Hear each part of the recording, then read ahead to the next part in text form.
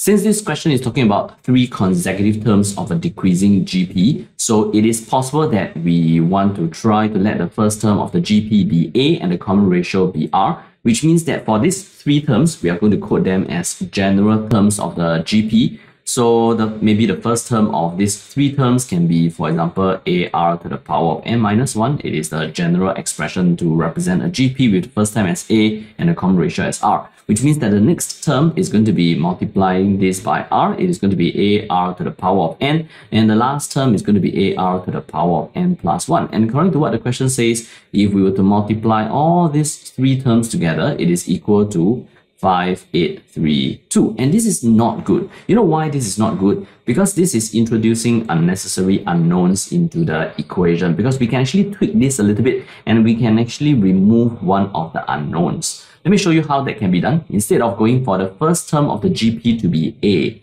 so what if we were to let the first of the three terms of the GP be A instead? So let me cancel away this. Instead of first term of the GP be A, I'm going to redefine A I'm going to let the first term,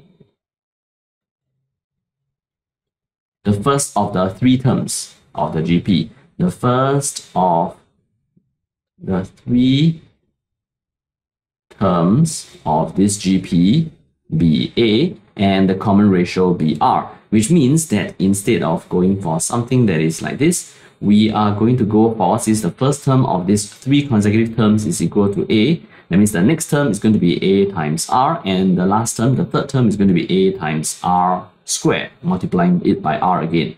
So if I were to multiply all these three terms together, this will also be 5832. And now we have one less unknown. We, we, are, we have eliminated n. So now we have a a to the power of 3, r to the power of 3. This is equal to 5832 or we can also definitely see this as AR, the whole thing to the power of 3, this is equal to 5832, which means that AR is going to be the cube root of this and this is equal to 18. So I have formed my first equation that involves A and R.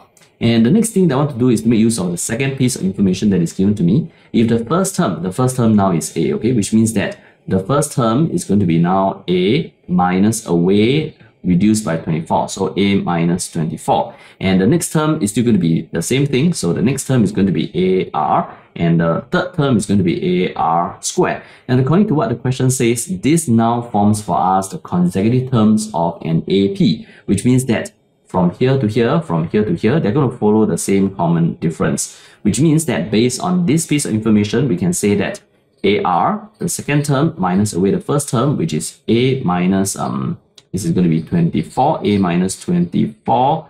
This is equal to the third term, which is ar squared minus away the second term, ar. And we actually do know what is ar. ar is 18. So we can replace this by 18 minus away a plus this is 24. This is going to be equal to, I'm going to rewrite this as ar multiplied by r. This is equal to 18. So now if I were to express a and make it the subject, that means what we have is uh, A, if I were to shift it over to the right hand side, and uh, I'm going to shift all these constants over to the left hand side, which will give me a 60. And this is going to be replaced by 18, so it is going to be minus 18r. So now I'm going to call this equation number 1, and this I'm going to treat it as equation number 2.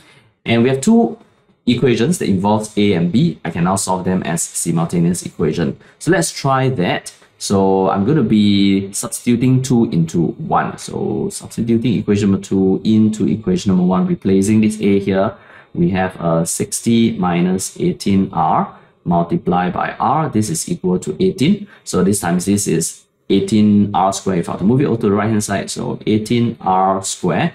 This I'm also going to move it over to the other side. So I have a minus 60r then plus 18, this is equal to 0. We can simplify this by dividing this equation by 6. So this is 3r squared minus 10r plus uh, this is divided by 6 it is 3 this is equal to 0 we can factorize this and it will become 3 minus 1 and uh, sorry 3r minus 1 and r minus 3 this is equal to 0 this tells me that r must be equal to 1 over 3 this is fine. Or r is equal to 3 and this is not fine. Why? Because the question says that this is a decreasing geometric progression which means that r must be something that is between 0 to 1 so that when I multiply a term by r, it is going to become smaller, and multiply by r again is going to become smaller. So if r is equal to 3, this will become an increasing geometric progression. So we are going to be rejecting this.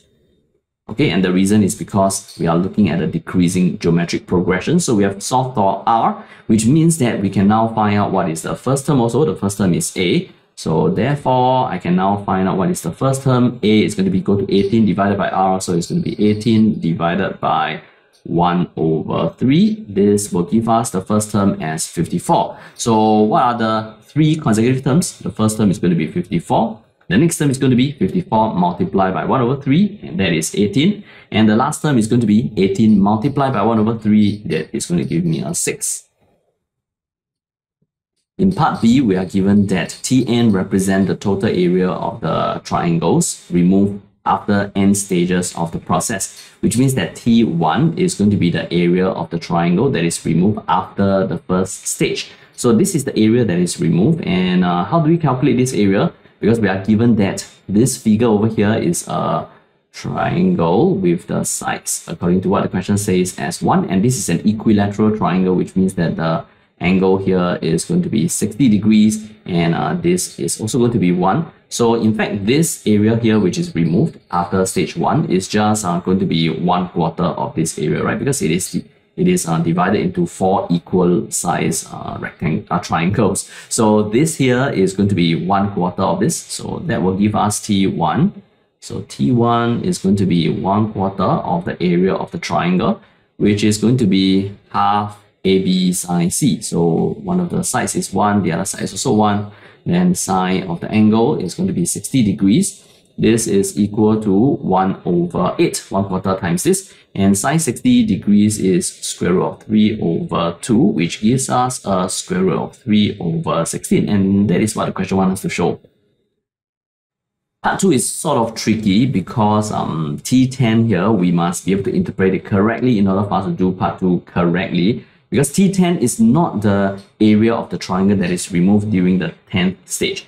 T10, according to how Tn is being defined by the question, T10 is the total area of the triangles removed after 10 stages of the process. So T1 happened to be the triangle that is removed after stage 1, which also is the total.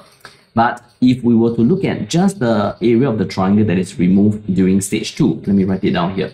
So area remove in stage 2. How do we calculate this area? Let us have uh, let us try to observe it together, okay? So do you realize that for the area of the triangle that is removed, it is going to be this triangle, this triangle, and this triangle. So this triangle, in fact, if I were to just put it back into this triangle that was removed in the previous part, for example, this, if I were to put it back, if I were to make use of this triangle, it can be this triangle that is over here. And this can be this triangle that is over here and this can be the triangle that is over here. So, um, and this is dividing, this is being divided into four equal size triangle, which means that for those that are removed in stage two, it is three quarter of this area. And what is this area? This area is T1 because that was what we have calculated previously, which means that here, three quarter of T1 is going to represent the area that is removed during the stage two process. So it is going to be three quarter of T1. In fact, this is also true for stage 3. Let me write it down. So area that is removed only in stage 3. And if you were to just observe together with me for stage 3, let us take a look at this over here. Okay, stage 3, it, this right area is going to be removed. This area is going to be removed. This area is also going to be removed. And if I were to put this back into the this little triangle over here, this this this is just three quarter of this area okay assuming that what I've drawn is um equally sized I mean it is a triangle when this is divided into four equally sized triangle so this is going to become here this triangle is going to become here and this triangle is going to become here. So it's 3 quarter of this. The same goes for this. It is also going to be removed and 3 quarter of this. And this is also going to be 3 quarter. Okay, which means that if I were to total up all these three triangle, this one, this one, and this one, the area that is going to be removed is going to be 3 quarter of this, these three triangles over here. And that is this, which means that the area that is being removed during the third stage is 3 quarter. Okay, let me change the color of the ink. It is going to be 3 quarter of the area that is previously removed, which is the total area of these three triangles here. So it's going to be 3 quarter of 3 quarter of T1, which means that we will have this as 3 quarter to the power of 2 of T1. So for the fourth stage, it is going to be 3 quarter of this. For the fifth stage, it's going to be 3 quarter of the area that is removed during the fourth stage. Which means that if I will talk about T10, T10 is the total now, okay? T10 is the area that is removed during the first stage, which is T1, plus the area that is removed during the second stage, which is now 3 over 4 T1. We have calculated that. The third stage is going to be 3 quarter square T1. So second stage, 3 quarter of T1. Third stage, 3 quarter square of T1. And we are looking at a total of 10 stages. So during the 10th stage, it is going to be 3 quarter to the power of 9 of T1. So what we have here now is a GP, a GP with the first term as T1. The common ratio is 3 quarter. The number of terms that we are looking at, there are 10 terms here, and this is going to be divided by 1 minus the common ratio, which is 3 quarter. And what is T1? T1, we have calculated it and show that it is square root of 3 over 16. So I'm going to replace this by square root of 3. Square root of 3 over 16.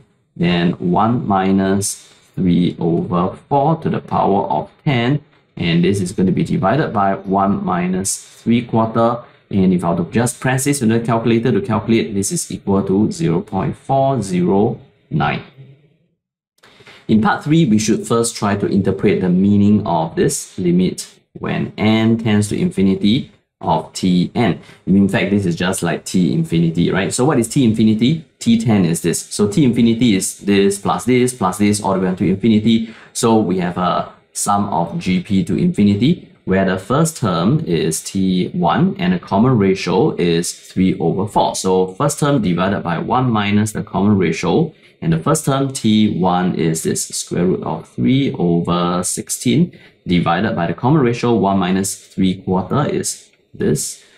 So my final answer is going to be square root of 3 over 4.